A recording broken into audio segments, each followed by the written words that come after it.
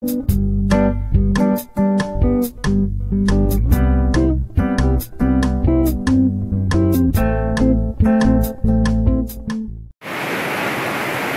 guys, hujan-hujan kita sempet-sempetin ngesut nih guys.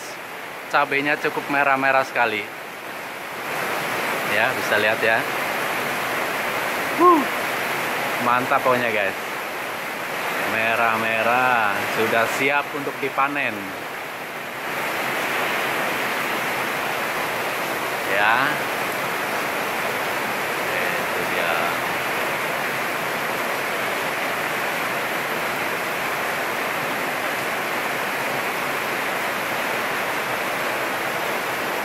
Hanya satu yang belum merah.